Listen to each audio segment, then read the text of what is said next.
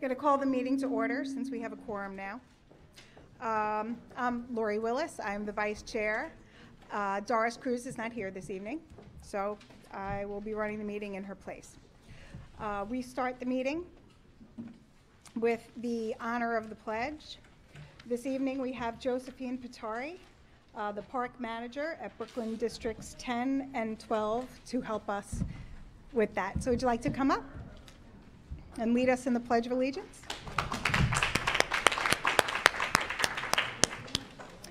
Um, All right, since you're all standing, we'll just, we'll go and. Good evening. I pledge allegiance to the flag of the United States of America and to the republic for which it stands, one nation, under God, indivisible, with liberty and justice for all. Thank you. Thank you. So I want to tell you a little bit about Josephine. Uh, She is the park manager of Brooklyn Districts 10 and 12. She's a lifelong Brooklyn resident. Josephine has always appreciated a love of nature and animals.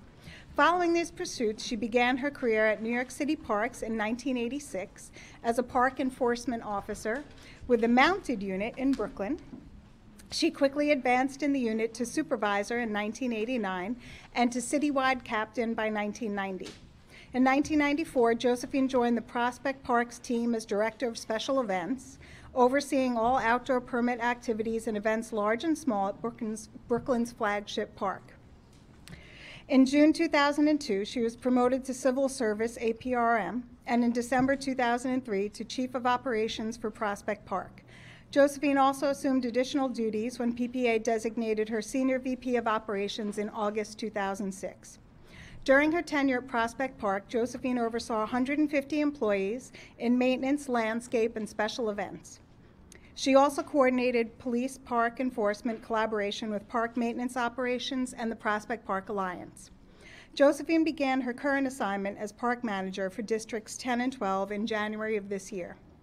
Josephine has a BA in Social Sciences from the College of New Rochelle and an MPA from Baruch School of Public Affairs. She lives in Windsor Terrace with her happy-go-lucky Cocker Spaniel, and her adult son, daughter-in-law, and two granddaughters also reside in Brooklyn. And she recent, and recently moved to a new home in the Gravesend community. So we want to thank you for leading us in the you. pledge and for all your service. Thank you.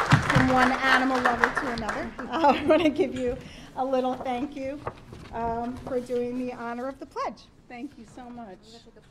Okay, surely, thank you.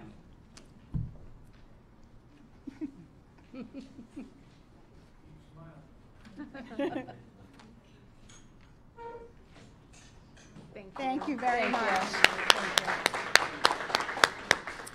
you. Okay, so now we would like the, uh, to adopt the agenda from the February 26, 2018 board meeting.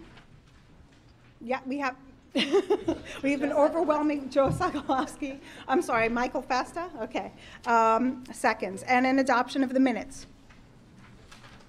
Who should I pick? I'm gonna do Joe again. And Michael, I did Joe and Michael both times, okay. Okay, um, and now we're going to move to the public session. Um, Do we have, this, wait a minute, I have a number one already, no? Well, it's number seven. Oh, okay. Okay, um, first, I would like to acknowledge, um, our visiting dignitaries and elected officials in the room. Um, I would like to, uh, acknowledge Councilman Justin Brannan. some of you may know, not sure. Um, Patrick Lewis of the Public Advocate, um, Police Officer Takas, the New York PD Community Affairs, you? Uh, Oh, there you are, I didn't see you back there. Robert Burkhead of Congressman Donovan's office. Amanda Zentano of the Fifth Avenue Bid. Jessica Callow from Borough President Eric Adams' office. Tori Kelly from um, Peter Abbate's office. Are we? Hi. I'm having a hard time finding all of you. Um, James McLennan, State Senator Golden. Hi, how are you doing? Um, and Chris McCreight. also from Councilman Justin Brannan's office. Okay. Um, we have a number of people who would like to speak at the public session this evening. So I have been told we are on strict orders that you have to speak for a minute. You have a minute and a half to speak, and then we start ringing the bell. Okay. Um, oh, I'm sorry. What's that? Okay, um, okay, well, first we're gonna call up Justin Brannan, because I heard that there's some things, um, that he would like to say. Is that true, Councilman?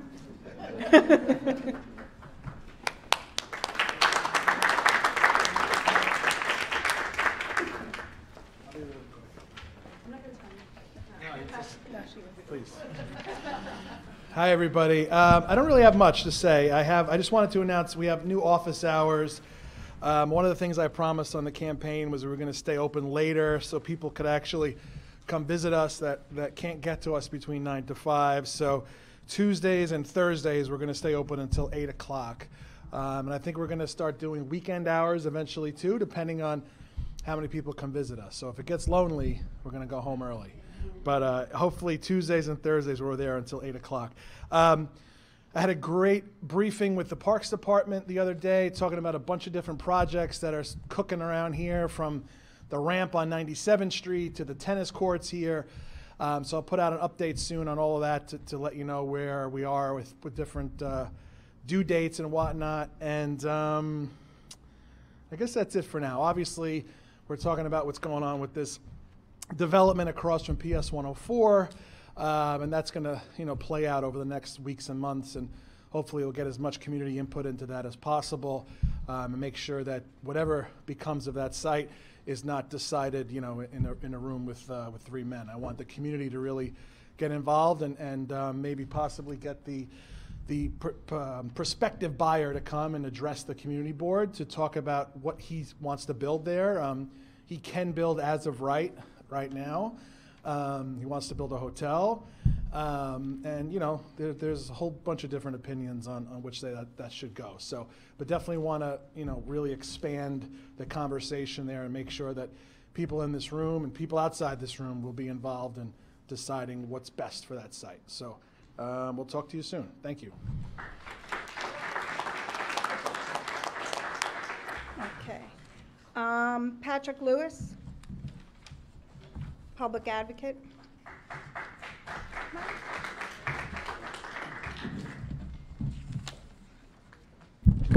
Hello, everyone. Um, nice to see everyone. Um, I'm Patrick Lewis from Public Advocate Letitia James's office. Just a quick update from um, our office, which is relating to Community Board 10, and that's that um, Public Advocate James recently signed on to a letter with uh, the council member, Council Member Menchaca, Senator um, Golden, Senator Felder, and Assemblymember Abbate, supporting um, the landmarking of the Angel Guardian home. Um, you know, we are. you know, we are proud to stand up and say that we need to uh, keep community treasures, um, you know, around and not to, you know, demolish them and turn them into something that the community here doesn't want. And when Public Advocate James was in the City Council, she stood up against developers to construct the, who were planning to construct the Barclays Center. Unfortunately, she lost in that battle but um, she stands firmly to believe that the community needs to be involved in the process when it comes to um, our, our communities. So, um, you know, we're here and we're working for you, and um, Josephine has my number. So if anyone here thinks that the public advocate could get involved and you're not sure, um, you know, feel free to reach out to me because we really are working for you. Thank you.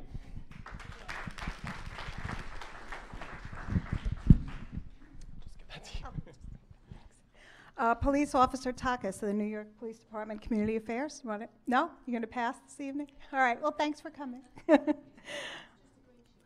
Just the green sheets? All right. Okay, we are going to move on um, to, to the uh, speakers who signed up. So, first we have Board Member June Johnson.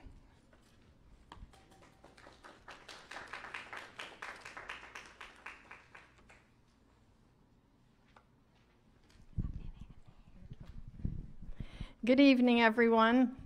This is the fifth time I'm coming before you to ask you to join us at our blood drive this week. People don't realize how important it is to give blood. One pint of blood can help up to or save up to three people. For the last four drives that we've had, we've collected over 300 pints of blood. So my family is like so thrilled that we've helped almost 900 people. And so our blood our blood drive is a celebration of life. We get together as a group. It's in the school where my son worked. And we serve food. Everything is free. We serve food. We have hero sandwiches. We have cookies and cake.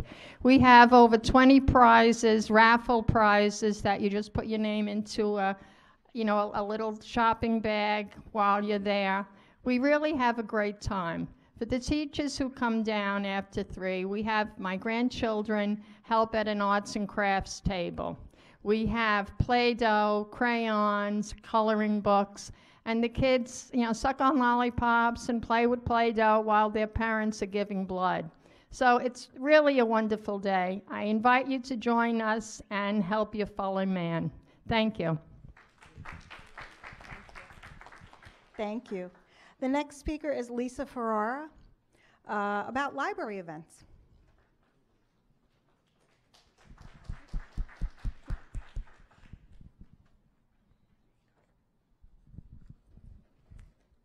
Good evening, everyone.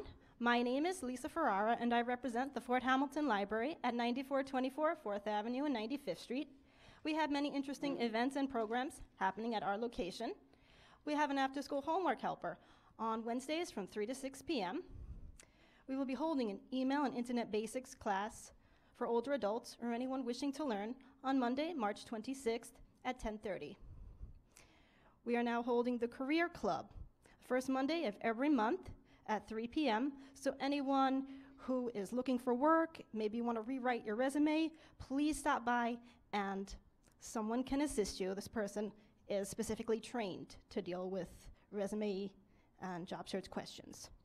Our branch is also having Mandarin story time every Saturday, now through June 9th at 3 p.m. And last but not least, we have Ready Set Kindergarten Fridays at 2 p.m. for ages 3 to 5. For more information, please visit www.bklynlibrary.org. Thank you, everyone. Thank you. And the next speaker is Sarah Gronim uh, with regard to the community forum on the proposed Williams pipeline. And I think we, we all got her flyer out in the front on the way in. That's right. Thank you very much. Hi, I'm Sarah Gronim. Um, I come to you tonight because of concern that uh, Oklahoma company wants to build a fracked gas pipeline under New York Harbor, digging a trench 23 miles past Staten Island, Brooklyn, and the Rockaways. Um, this uh, has a lot of problems associated with it. We've got a flyer over there and a, a petition to the governor who could stop it.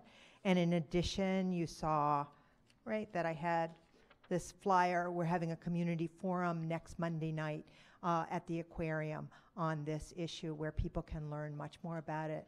I urge you to take more flyers and have your neighbors come.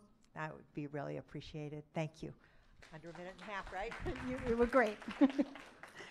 Thank you. Uh, Our next speaker is Patrick Lewis. Oh, yeah, I'm sorry, sorry. You guys are double booking me.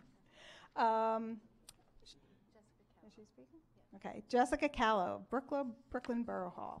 Sorry, Jessica. Thanks. Get out of your way.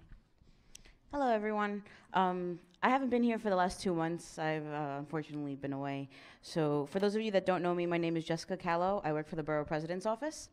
Um, I have a few messages with me. I don't normally say so much, but uh, first and foremost, community board applications. Um, they're on my desk. I've received them. We're in the process of of re- reappointing and appointing new members. Soon we'll be meeting with elected officials. If anyone has any concerns about their application, please let me know tonight or sometime this week. I have uh, business cards with me if you don't have my phone number or my email, so reach out to me, please. Um, secondly, I want to let everyone know that, remind everyone that attendance is really important. Um, just because you've been on the board for X amount of years doesn't mean you shouldn't be showing up. So if you were appointed last year and you don't think that attendance is important, you should be coming to these meetings. Uh, third, we have a lot of free things going on uh, the over the next couple of months. We have free legal services, we have free tax prep, um, a lot of cool stuff. So I invite everyone to take a monthly message in the side of the room over there and check it out. Thank you so much. Thank you. Okay, and our next speaker is Robert Burkhead of Congressman Donovan's office. Good evening, everybody. All right, so I also don't normally say so much unless there's a lot of legislative updates going on in DC, um, which I'm sure you're also interested in hearing about. Uh, so I just want to give you a rundown on what the congressman's been up to. Uh, on March 14th, uh, U.S. House Representatives had voted to pass a school safety measure co-sponsored by uh, the congressman. It's called the Stop the Violence Act. It reauthorizes, modifies, and expands a Department of Justice program that awards grants to state and local governments to improve school security. The congressman said this is the first step in national effort to secure our schools. We're the most technologically advanced and innovative country in the history of the world with focus on resources. We can improve our school security affordably and effectively. Nobody should drop their kids off at school in fear for their safety. What this does is local and state governments have jurisdiction over nearly all education policies, including the school safety. Uh, It encourages cities and states to implement more rob- robust school security measures. The Stop School Violence Act authorizes $750 million in grant funding. Uh, What it does is it pro- uh, provide services, uh, the development and operation of anonymous reporting systems, development of school threat assessment and crisis intervention teams, and continued coordination with local law enforcement. Congressman also co-sponsored a bill, which I'm sure you're all aware of, uh, the incident that happened on TV um, in response to the. oh, Okay, I'm sorry.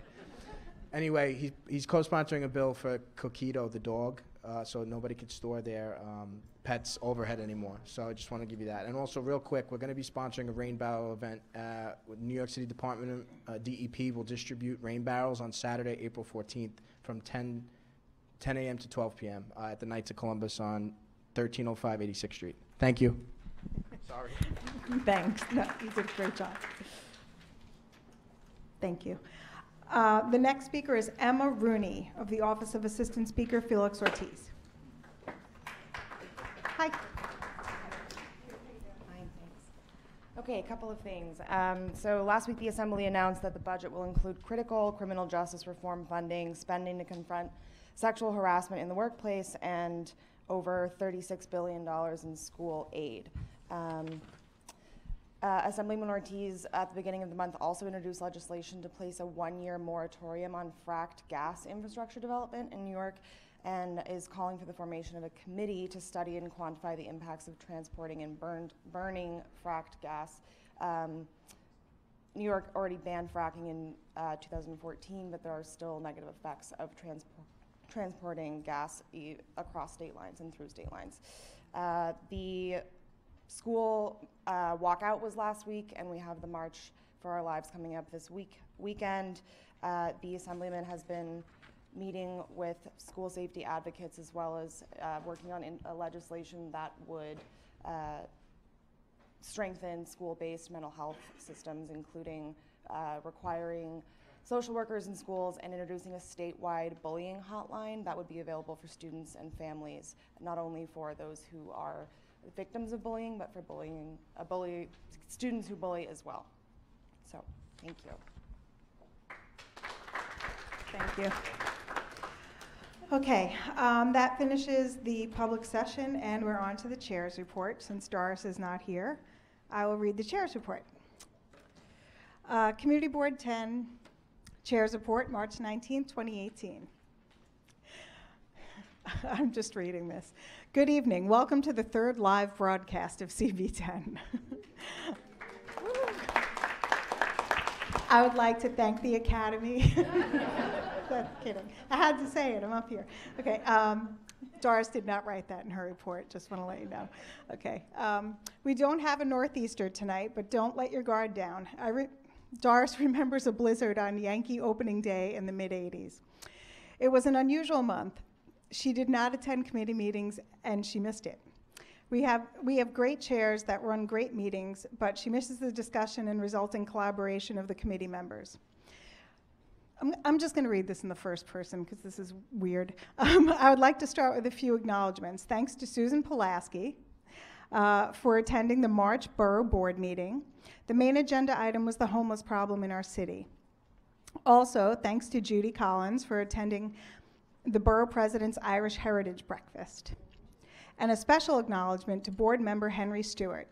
He has the dubious distinction of winning the Riders Alliance Worst Commute of the Week. We do not congratulate you, but we offer our sympathy and support. Improved conditions in mass transit are essential to our community and to our city. We welcome our new precinct commander and look forward to working with him. While we are a low crime precinct, we do have drug problems, sex trafficking issues, and quality of life issues like noise and other problems from a few bars. Bay Ridge has many licensed establishments, but only a handful have recurring problems. In addition, offenses like speeding, running red lights, parking at hydrants, fire zones, and bus stops need to be reviewed. Illegal bus stop parking may seem minor, but not to a bus driver and to passengers. Drivers are supposed to only discharge passengers at the curb. If a bus cannot access the curb, they cannot discharge a wheelchair passenger, for example. This is unacceptable. Cars blocking fire hydrants are a public safety issue. If it takes firefighters an additional 10 seconds to reach that fire, that could cost a life.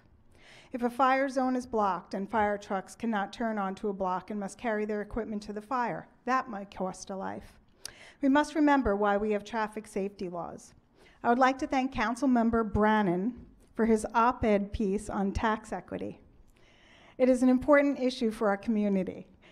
To use myself as an example, my 1,600 square foot house pays between two and three times in real estate taxes as a 3,000 square foot house in, Brownst- in Brownstone, Brooklyn. We need tax e- equity and fiscal prudence. We'd like to work with you on the excessive cost of many city projects. When it costs $3.75 million to renovate a 1,600 square foot park house, something is amiss. Are the using, are they using the Guggenheim sol- are they using the Guggenheim solid gold toilet? In your position on the contracts committee, you can help review and resolve these issues. Recently, there was a horrific traffic accident in Park Slope. Two children were killed. It brought to light a deficiency in our traffic laws. There are drivers who repeatedly run red lights and who repeatedly exceed the speed limit in school zones and probably other areas. These are reckless drivers. The city found that red light violations decreased after cameras were installed. Yes, drivers learned where the cameras were located and their GPS told them where the cameras were located, but mostly they changed their driving habits. I know several people who have received speeding tickets in school zones, but they only received one ticket. They changed their driving habits. The school speed zone tickets are only issued when exceeding the 25 mile per hour speed limit by more than 10 miles per hour. That's 36 miles per hour and that is dangerously close to 40 miles per hour, which is usually the difference between serious injury and death. Members of the City Council and the Mayor are discussing changes to the law that goes beyond ticketing for repeated offenders. Please think of the safety of our children and all our residents and review these proposals. On a totally different matter, the New York State Senate included a provision in the state budget that would amend the multiple dwelling law in relation to the FAR in the city of New York. It, it is S6760. I do not think there is a community board in the city of New York that is more committed and knowledgeable on zoning and land use. Why is the state of New York including a provision to change local zoning law in the budget? I ask our state legislators to leave city zoning issues to the city. Thank you for your patience. Respectfully submitted, Doris Cruz, Chair CB10. And now for the district manager's report. And the treasurer's report. Thank you, Lori. I'll do one at a time. Um, Good evening, board members. Since we last met, um, the district office has been very busy working on preparing for summer street activity permit season. Speaking to the sponsors regarding the summer events and reaching out to all block party applicants regarding block parties. For our community board, we receive approximately 70 block parties per year, and about 60% of those occur between August and September. All applications are now done uh, online, and the community board receives an electronic notification. During the month of March, we reach out to all past applicants with a copy of Community Board 10's guidelines. It is a gentle reminder to make sure applications are made in a timely fashion in accordance with city regulations. Because if you don't meet the 60 days, you can no longer apply online, and people come into us upset if they want to have a specific date. So we've adopted a policy of, of reaching out to all of our applicants proactively. I also attended the monthly Borough Service Cabinet meeting this month. Dawn Tolson, who is the Director of Street Activity Permit Office, reviewed changes to their website. They have some improvements and some updates that she shared with us. Block party applications, again, must be submitted 60 days prior to the event. They must be a member of a block association and given permission by their neighbors. CB10 does require a petition. Chair Bradley from the New York State Liquor Authority was also in attendance to meet with district managers and community board chairs and listened to our concerns and answered many questions. And we appreciate his interest, um, knowing that we have an important advisory role for new SLA and renewals of applications. The 86th Street overpass, if any of you have been by, um, staging work has begun. We received several concerns about pedestrians that were not heeding to the closed sidewalk, and we requested additional signage and barriers be put into place for pedestrian safety. This is a New York State Department of Transportation project. The sidewalk is completely closed on the south side of 86th Street. Although the design build method employed on this project seeks to reduce the overall community impact as much as possible, we will certainly have impacts. The 86th Street Bridge has parking lanes, and we will lose those parking spaces intermittently throughout the job, impacting the surrounding commercial spaces. And we've done a reach out to the 86th Street bid. The anticipated schedule is during the spring of 2018. The 86th Street exit and entrance ramps used to get on and off of the Gowanus Expressway will be shut down for nearly three weeks. The construction methods employed by the department should lead to a timely completion of this vitally important work, but during that time, we're going to definitely see some impacts. And I will keep you posted. We also received word that the Ovington, A- that Ovington Avenue between 3rd and 4th Avenue will be closed completely to vehicular traffic on two Saturdays in April, April 7th and 14th, from 8 a.m. to 4 p.m. for a crane operation. And that's related to the church construction, right? That's related to the church construction. Beginning on February 24, 2018, smoking or using electronic cigarettes, e cigarettes, became prohibited in common areas of residential buildings with three or more dwelling units. Building owners must post updated signage and are being notified by the Department of Health. Also, the hookah legislation adopted by the City Council um, will be moving into effect. There was just a Department of Health um, rule change hearing. So we anticipate by April, the community board through its Senior Issues Housing, Health and Welfare Committee, I'm looking at the chair Ida, we will be planning a meeting with all owners in the district of hookah lounges and restaurants who serve hookah with the Department of Health to give a briefing on the changes of law and, and what they should expect with that change for how they run their establishments and what licensing is required, et cetera. Um, just a few announcements. March 24th, the Bay Ridge Center will be having a March for Meals between 11 and 12. These will be posted on our website. The Brooklyn St. Patrick's Day Parade will be held this Sunday, March 25th. The parade will form on Marine Avenue, proceed to 3rd to 67th Street. Um, Senior Tech event that's also going to be sponsored by the Bay Ridge Center um, will take place on May 2nd from 10 to 4. And I just wanted to take a brief second to just share with you that last year the community board partnered with the Bay Ridge Center on this initiative, and it was about 300 seniors who participated at Our Lady of Angels. And I was there with some of the volunteers, and it was truly um, an event that really assisted seniors in trying to um, break that digital divide, whether it was learning how to use a smartphone or learning about Netflix and different computer based applications that they really eagerly wanted to learn about, and some of which that I'm even intimidated by. Um, but this year, they're going to be hosting that event at Brooklyn Borough Hall. Um, the borough president's office is going to be um, the host. And it's a really good event, and I'm going to share that um, flyer with you and ask that if you know anyone who would be interested, that you um, share that. I want to take a minute to congratulate Board Member Ria McCone for being honored um, with the Paul O'Dwyer Award at Borough President Eric Adams' Irish American Heritage Celebration Day. I saw Ria. Congratulations. I know Board Member Collins was there and she shared that good news with us, so I wanted to take a minute and just offer our congratulations. Fort Hamilton High School is working with their seniors on a program called Foreshadowing the Future. If you are interested in working with a senior in good standing to spend an afternoon or more in your place of business to introduce him or her to the business world, you may contact Gregory Aboud, the assistant principal. Um, we have his address, his email address, and we will share that with you. And there are some flyers that are on the side table. And the next general board meeting will take place on Monday, April 16th at 7 p.m., right here in this room to be broadcast. So, on behalf of the district office staff and myself, I would like to wish all who observe a blessed Passover, happy Easter, and to all a very happy spring. Respectfully submitted. I have a question.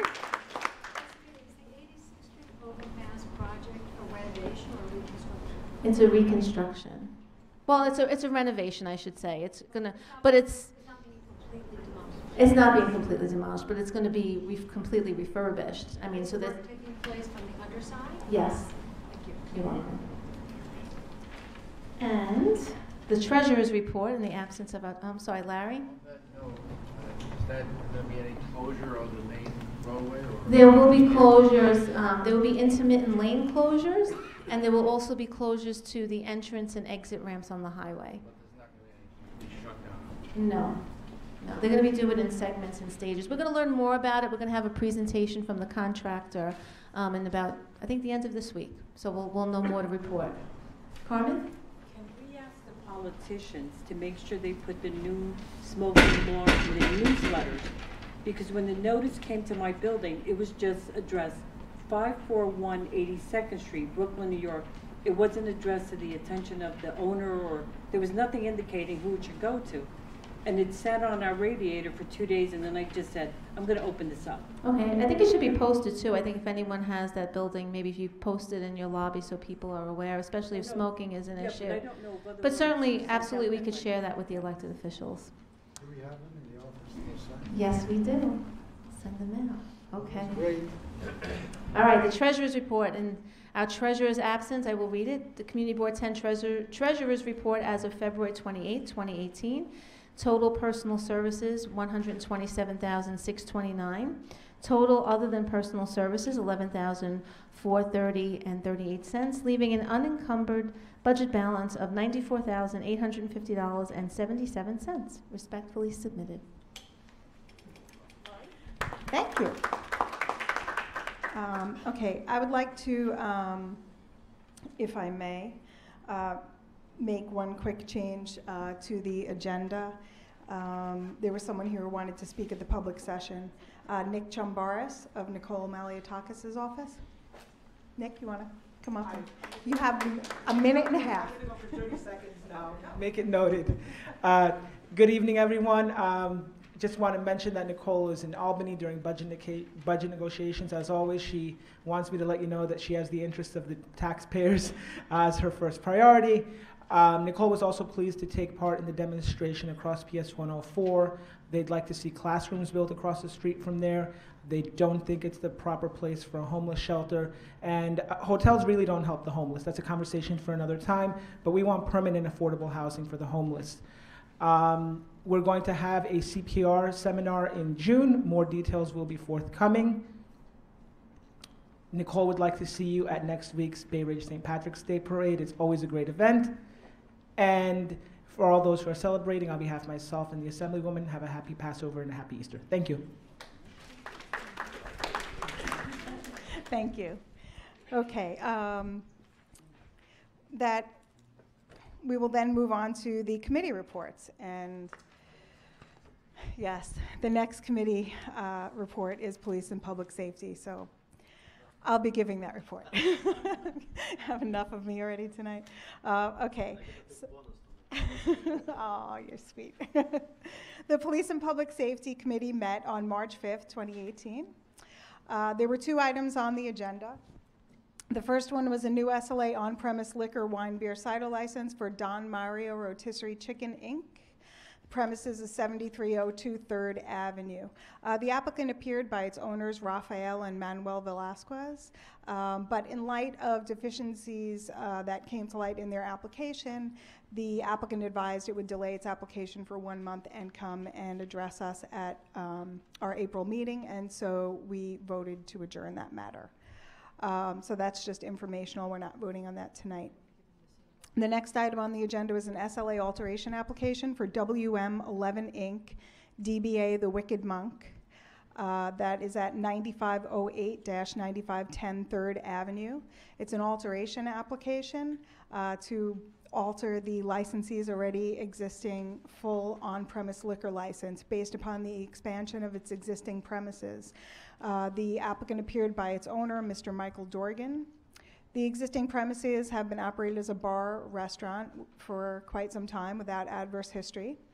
Um, They recently acquired the adjoining storefront, which was a real estate office, and they've expanded into that space to use it as a party room. Um, In response to the community board's notice to residents um, of this alteration application, only one comment was received, and that was with regard to the complaints of cigarette butts on the sidewalk in the morning. Um, Mr. Dorgan advised he does clean the sidewalk, and he'll take efforts to address that.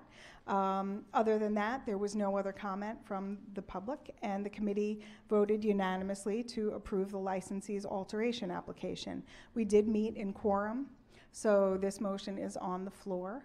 So are there any questions or comments? I know most of us are familiar with the Wicked Monk. Yes, Brian? It's actually completed. They expanded, the storefront is finished, um, and it's just, they just broke through the wall, and it's just a room with, with additional seating and tables. Anyone else? There's no other stipulations? No, there are no other stipulations. They have no adverse history, um, and there was really, you know, other than the cigarette butt comment, nobody complained. um, anyone else? Okay. Oh, yes. Yeah, is there, with respect to the party room, I know we had another party room re- recently, is there any kind of a, uh, an exception, or are they gonna uh, follow the same rules with respect to closing it Same rules. The same rules apply. So there, the alteration application is just to expand the premises, but everything else on the license remains the same. Any other questions? Any comments? Okay, so I'd like to move the question. Um, all in favor? Any abstentions? Any recusals? Uh, any against? Okay, so the motion carries, and um, we've approved the application. Thank you very much. And that's my report. Thank you. The next item on the agenda is Traffic and Transportation Committee.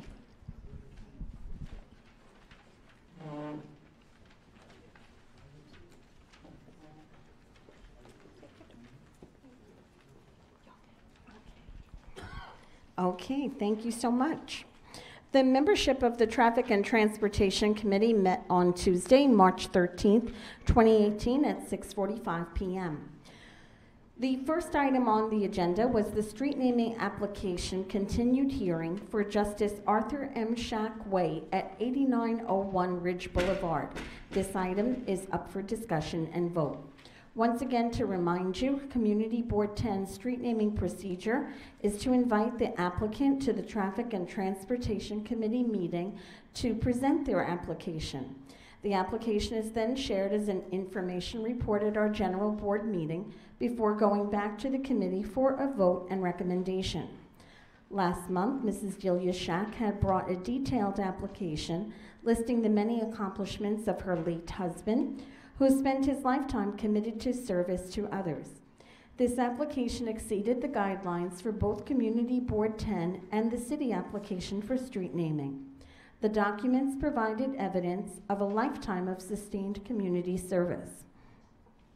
as a local high school teacher, as an attorney for the Major League Baseball Players Association, and ultimately a New York State Supreme Court Justice, Arthur Schack continued to volunteer his time to many organizations, including the Boy Scouts of America, the Guild for Exceptional Children, Friends of New Utrecht, the Bay Ridge Historical Society, and our own Community Board 10.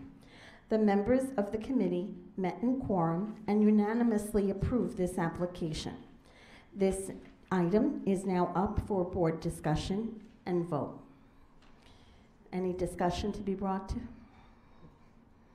So then we are ready to vote? Delia's here. I'm sorry, I didn't see.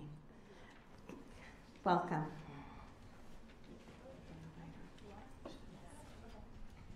Okay, so no discussion? Um, Okay, so um, did you meet in quorum? Yes. You did, okay. So all in favor? Any against? Any abstentions or recusals? Okay, so the motion carries. Thank you. Thank you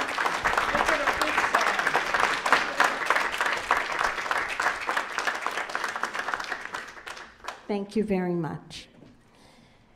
The next item on our agenda was an application for the Third Avenue Festival, October 14th, 2018, from 10 a.m. to 6 p.m. on Third Avenue between Bay Ridge Avenue and 94th Street.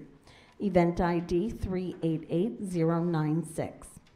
To recap, in December of 2017, Community Board 10 held a joint committee meeting with Police and Public Safety Committee and the organizers of our local festivals to discuss issues and concerns from the 2017 festivals. The committee met in quorum and unanimously voted to approve the application with the following stipulations. One, NYPD amplified sound permit to end at 6 p.m. Amplified sound permits will be issued at the discretion of the Third Avenue merchants, and all applicants must adhere to the New York City noise code regulations and NYPD rules relating to sound permits. A list of permits must be provided to Community Board 10.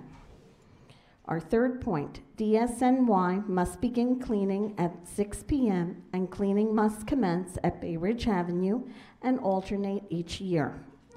Number four, all SLA licensed premises applying for one-day outdoor use must submit a signed letter notifying Community Board 10 that their SLA licensed premises received the SAPO Festival rules as well as the stipulation agreement with Community Board 10 and will comply with all rules during the events.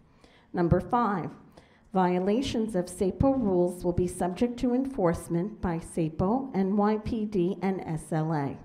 In addition, the Community Board will submit complaints of rule violations with documentation to SAPO, NYPD, and SLA.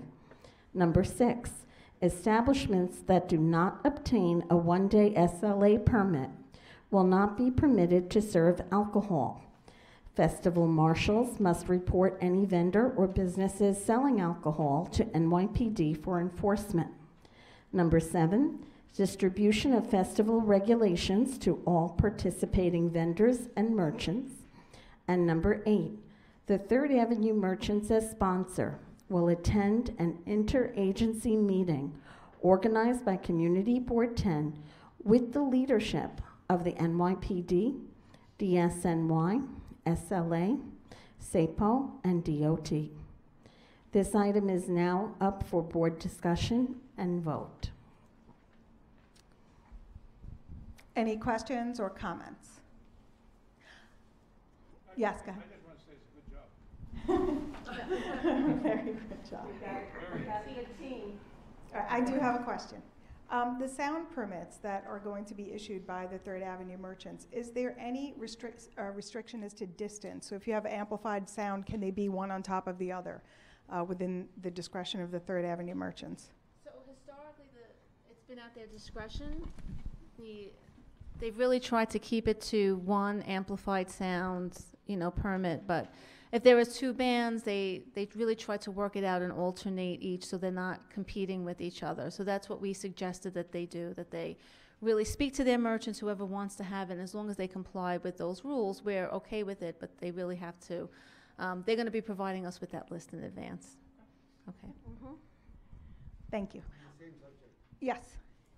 I think the permits are issued by the police department, not by... Right, but uh, how would the police department know this was approved by the committee or not? Yeah, Are- so- Are they getting their approval first? That's a great question, Habib, and I have a great answer for you. So it's one sound permit that is issued to the event. And then the organizers, what they do is they plan where sound is going to be from that, that permit. And they're going to give us that list. So pretty much the police, the organizers, and the community board, we all, all work together on the, the Third Avenue Festival coordinators lead. Um, Chip does a great job. He plans out, you know, which locations will get will get sounds. But it's one permit with multiple locations, um, and they have to organize the event so that they're not competing interests and, and and that it ends at six o'clock when the festival ends, so we don't get the noise complaints afterward. Okay. Brian. If I missed it, uh, I'm sorry, but who's gonna enforce if the sound is over? Who's gonna have the equipment? Yeah, so the marshals of the event will go over to the person, say if they exceed it, and say, hey guys, you know, you have to lower it, or time is up. If they do not comply, then the police department, and usually that, you know, the officers on scene will. Um, well, we have a sound meter, so we'll have to bring ours. just in case. Any other questions or comments? Okay, so I think, I think we're ready to call the question. Uh, All in favor? Any opposed? Any abstentions or recusals? One, abs- I'm an officer on the Third oh, okay, one recusal. Thank you, so the motion carries. Thank you very much. The next item is an application for the Third Avenue Weekend Walk Summer Stroll on July 13th, 2018 and August 3rd, 2018 on Third Avenue from 68th to 80th Street. Although the weekend walk summer strolls are presented as two votes based on the street locations, we discussed the issue as a whole. Our discussion once again benefited from the previous meeting in December, and the committee unanimously agreed in quorum to approve the applications with the following stipulations.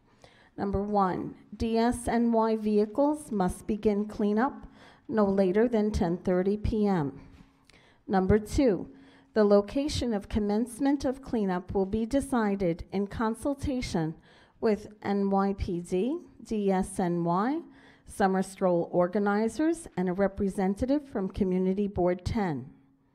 Number three, all SLA licensed premises who plan to serve alcoholic beverages must submit a notice of alteration to Community Board 10. Number four, all SLA licensed premises filing for a one-day outdoor license must submit a signed letter notifying Community Board 10 that their SLA licensed premises received the rules of the DOT Weekend Walks Program, Third Avenue Summer Stroll event, as well as the stipulation agreement with Community Board 10 and will comply with all rules during both events. Violations of the DOT Weekend Walk Rules Third Avenue Summer Stroll event will be subject to enforcement by SAPO, NYPD, and SLA. In addition, the Community Board will submit complaints of rule violations with documentation to SAPO, NYPD, and SLA. Number five, amplified sound locations will be issued at the discretion of the Third Avenue Summer Stroll organizers, and all applicants must adhere to the New York City Noise Code regulations and NYPD rules relating to sound permits. A list of all locations must be provided to Community Board 10 in advance of the event. Number six, all amplified sound permits issued by NYPD must end at 10 p.m. Violations of the sound permit regulations will be referred by Community Board 10 for enforcement. Number seven, NYPD personnel or auxiliary personnel must be able to cover all intersections open to vehi- vehicular traffic for pedestrian safety. Number eight, all participants at the DOT Weekend Walk Third Avenue Summer Stroll must comply with the direction of Summer Stroll marshals. Number nine, the Third Avenue Merchants as sponsor will attend an interagency meeting organized by Community Board 10 with the leadership of the NYPD, DSNY, SLA, SAPO, and DOT no less than one month before the first summer stroll event. And number 10, distribution of DOT weekend walks regulations to all participating merchants. The committee unanimously voted to approve with these stipulations. This item is now up for board discussion and vote. Okay, so that was a lot. Very good job. Are there any uh, questions or comments? Any discussion? No. Okay, so then uh, we are ready for a vote. All in favor? Any against? Abstentions or recusals? we have one again. Rhea. Okay, thank you. And our last item is the application for the Third Avenue Weekend Walk Summer Stroll, July 20th, 2018, and August 10th, 2018, on Third Avenue from 80th to 90th Street. The committee unanimously voted to approve with the same stipulations that were just explained in the previous Weekend Walk Summer Stroll application. So this item is now up for board discussion and vote. Okay, so the first, uh, just to clarify, the first vote was for 68th to 80th Streets. Um, They broke it into two parts, and then this is for the um, second portion of the stroll, which will go from 80th to 90th Streets. So it's all the same stipulations, all the same rules. Uh, Any questions or comments this time? No, okay. So all in favor? Any against? Abstentions or recusals? And we've got, again, one abstention um, or recusal. Okay, and um, that concludes our report. Thank you. That was great job. I just, I just want to note that we really owe our thanks to Josephine for helping to really set this up and get communication going between all these different parties. And that's really what made it work. Thank you. Thank you. And our next item on our agenda is our zoning and land use report.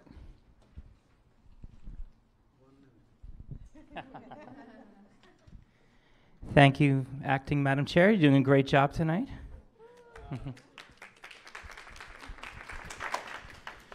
so, the uh, Zoning and Land Use uh, Committee met on March 15th at the district office. Uh, um, and we had one topic, a rare night where we don't have anything to actually vote for, so you can just listen.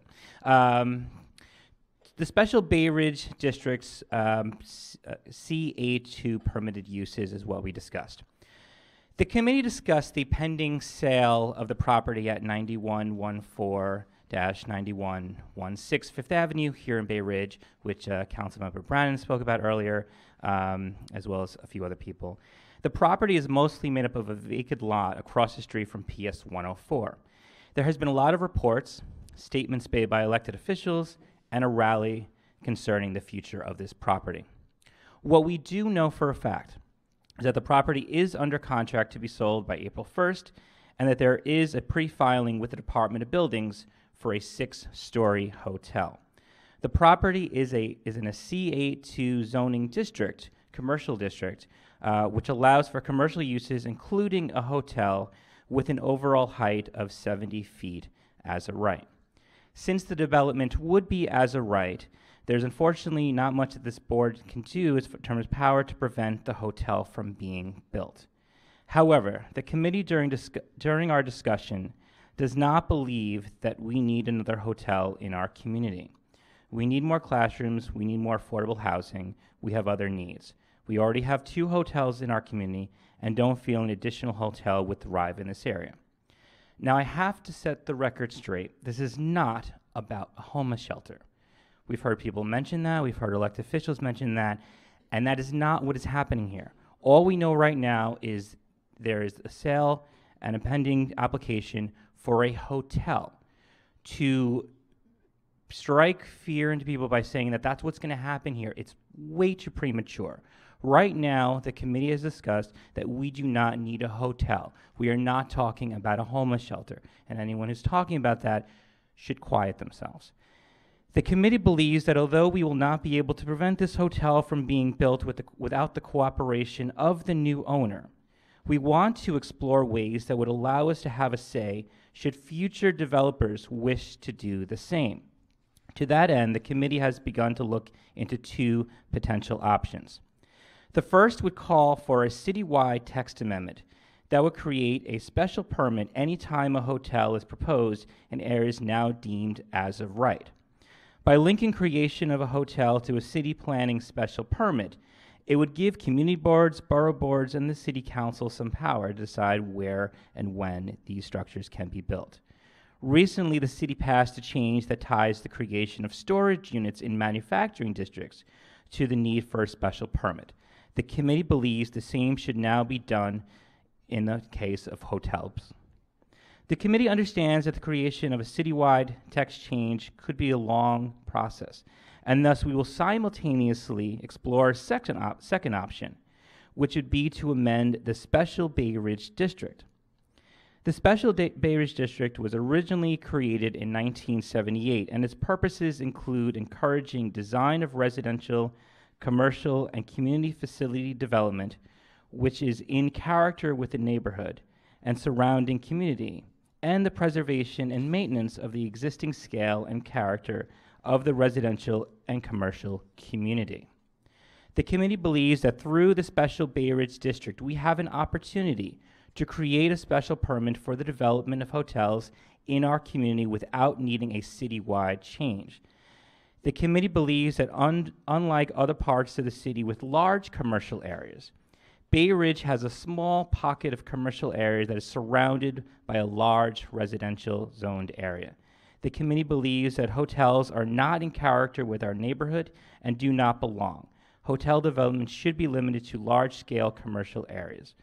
The committee, with the help of CB10 staff and interns, will work aggressively to accomplish these goals to prevent further developments like this from taking place. The committee adjourned at 8:30. Respectfully submitted, Brian Kazuba. Any comments, questions? Yeah. That we can write a letter to the building department trying to object on the project? Is there a way that we can come forward and say, you know what, this is what we think, that's what we say? Do we- Uh, Unfortunately, it, it is as a right. So they, they, they have, by statute, they are allowed to build a hotel, and, and so, so as long as they're not exceeding anything, um, there's nothing that even the building department can do to, to say no to it. Barbara? Yeah, I think where the confusion or this word about homeless is coming up is that maybe about two years ago, Mayor de Blasio was on TV and he spoke about when hotels opened that a certain amount of units had to be set aside for homeless. And that was about two years ago. So I think people remember that. And when they hear about a hotel growing here, that's the first thing they think about. But I do remember that also. Yeah, and, and that might have been the case, but that's not what's happening here. It's, it's not what's, what's being discussed, so it's, it's purely speculative and hypothetical um, that that would potentially happen in the future at this location. Brian? How many units is the proposed uh, construction? 63. On six floors? Ten plus per floor? Um, I think as of right, one could say, is always a gray area. We could request that the building department uh, explain and review the so-called as of right zoning calculations, question them, so to speak, ask them to be defended. We, we could do that. Slow things Because down. you're right, I mean, it is a lot of rooms for six Yeah. stories. Yeah. So these rooms are gonna be either really small, like closet size, I can't even imagine that amount of units. I mean, we've, we've done that in the past, we've asked the Department of Buildings to, Yes. to review the submitted plans on the application, Mhm. um, to make sure they're zoning compliant and they meet other building department specifications. So we'll be definitely watching it. Any other comments, questions? So is there any, I- I mean, I I know, I understood um, what Barbara said. So is there, I mean, is there any actual regulation or uh, requirement that would require there to be a certain amount of room set aside for um, homeless use in a hotel setting? I mean, I've never heard of that actually, No. actually being implemented anywhere. No, there, there isn't, yeah.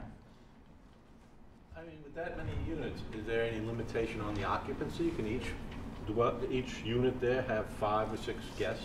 Or is there a guest limitation? There's gotta be a guest limitation for safety, for fire safety, right?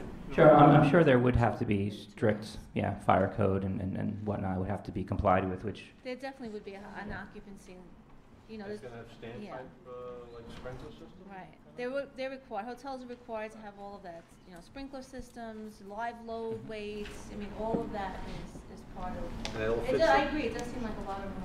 It fits under seventy feet with the mechanicals on top? Right, there's no, right now it's a pre-file, there's no plans that were submitted, it's a pre-file, so. uh, Michael, then Steve. Is the developer someone who has already built hotels somewhere else, or is the? Yes. oh, Yes. yeah, that- Excellent I just saw your question, and yes, yes, we, we, we're aware of the, um, the East, East New York Inn? No, he's not, he's saying he's not associated with the East Okay. New York Inn, but there are many other hotels. Right now, he purchased land in Coney Island for development of a hotel. His, his, um, he's been in, in, in this type of hotel, um, development for some time. He's a physician, uh, an op- ophthalmologist, um, but his, has, his family have been developing hotels, is, is my Isn't he the Comfort on Third Avenue? He doesn't work here. No, no. The, the, the uh, hotel, the Comfort Inn on Third Avenue, is that, it's his. I I hope you guys think, I think that. Oh, I, yeah, I didn't see that. It's- I have to look at that. I don't know. Uh, Okay. Steve? I know in LaGuardia he has one. I'm Yeah, sorry. another one. I believe that there's, uh, if there's 63, and and we didn't know that number when we spoke about it the other day, but if there's 63 rooms in there, I think it's important for everybody here to understand that I think that that uh, only requires eight, uh, co- uh, if- uh, isn't that what we figured out the other day? Yeah, we We figured out require eight parking parking spaces, For yeah. the entire hotel, right? So I think that there, if there was something that we could do here, the more spaces we can get, because that's gonna be a real problem in that area if they're successful. So, so, Does this include where the car lot is on 92nd Street too? Yeah, it, it's it's a weird shaped lot, which we're I think we're still trying to exactly figure out the diameters too. But it's it's it's start the main entrance is on for is on Fifth Avenue, but it, it tees out to Ninety Second Street. And, and there is property for Fourth Avenue on s- for sale, not directly behind, but close to it. Are, are you familiar with any of the uh, other hotels that have been built, what type of developments they do, or, I mean, the quality, what, what type of, you know, hotel we, we can anticipate? We're putting that together. We're We're doing some research on, there are a lot of hotels that bear his name or a surname that, so we just wanna flesh out so we can see what some of his past jobs are and, and what the experiences are there. But there are many. Um, Some that, we- some that we say that were high-end, some that were of varying sizes and scopes, but we just wanna make sure that they are his hotels. It's, You know, we wanna just make sure. So we're gonna be researching that this month. I have one more question. So considering the fact that this is as of right, um, let's assume, you know, his Department of Building plans will go in and they'll be, you know, tweaked and amended. But let's, you know, proceeding with the notion that what he's got filed now is probably pretty close to, uh, the developer's plan.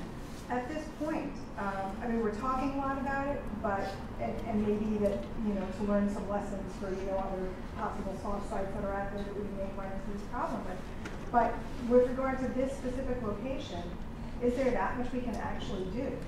No, no. As, as, as I said earlier, if it's as a right and, and, and if they conform to the building codes and fire codes, unfortunately, there's nothing we can do except hope and, and suggest and work with our elected officials. You know. Yeah, ex- ex- exactly. You know, you know, J- you know, Councilmember Brannan said he was continuing to, to talk to him. So hopefully, hopefully something else will work out. But there's nothing uh, legislatively power that we have to be able to affect it. Any other comments? Any I do. Well, clearly this isn't a Marriott or a Sheraton or a Hilton hotel. Is it going to become another Prince Hotel? It's not We- we- we hope not- not. Yeah. We- we hope not. concern there. Can we, uh, can we forbid hourly rates in that hotel? Something like that? Uh, That's. If we can in some way um, regulate the um, hotel usage to forbid the practice of things like hourly rates. You put that very well. For example. Yes. That, that I don't know.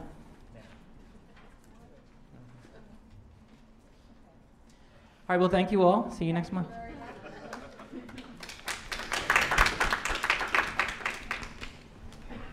Okay, um, and now we have a report from the Communications and Public Relations Continued Development of the CB10 Newsletter Informational Report by Michael Festa. On a lighter note, um, the Communication and Public Relations Committee met on Wednesday, March 14th at 7 p.m. to discuss the continuing development of the Community Board 10 digital newsletter. Um, the ETA is uh, for May 2018. Um, the district office reviewed several email blast sites, including Constant Contact and MailChimp. Also spoke with Borough Hall Billing and learned that Constant Contact is registered as a vendor for the City of New York. The Borough President's office uses this service for their newsletter. CB10 formally signed a contract for the service at $46 a month. Um, the contract includes one email per month sent to no more than 2,000 email addresses and can be updated as needed for further cost. The service can sort through duplicate email addresses and includes hyperlink, photo, and calendar capabilities. Also, the service includes a dashboard for translations into multiple languages. It's a, it's a, it's a living document. The district office had an initial face-to-face meeting with Constant Contact, and a second meeting will be scheduled shortly. The district office has hired a new intern, Maria, to focus on this and other projects. Maria is a junior at Fordham University, majoring in political science, and will be with us till at least June and maybe through the summer. A contest. We are asking board members to name the newsletter. A board member can submit as many names as they wish by emailing the district office prior to April 9th. We already have received um, several names. Thanks, Steve Harrison. Um, the winner will be chosen by the committee and may be spotlighted in the first issue of the newsletter. The newsletter will be uh, limited to board business and will be a one-page screen with four or five segments as follows. Um, and and this, this could change. Um, Josephine's district manager report, community events, committee reports, city agency announcements, and historical facts relating to Bay Ridge, which ought to be fun. Um, each segment will contain additional hyperlinks to sites or files that relate to the subject, including the PBS broadcast site. Photos can also be added.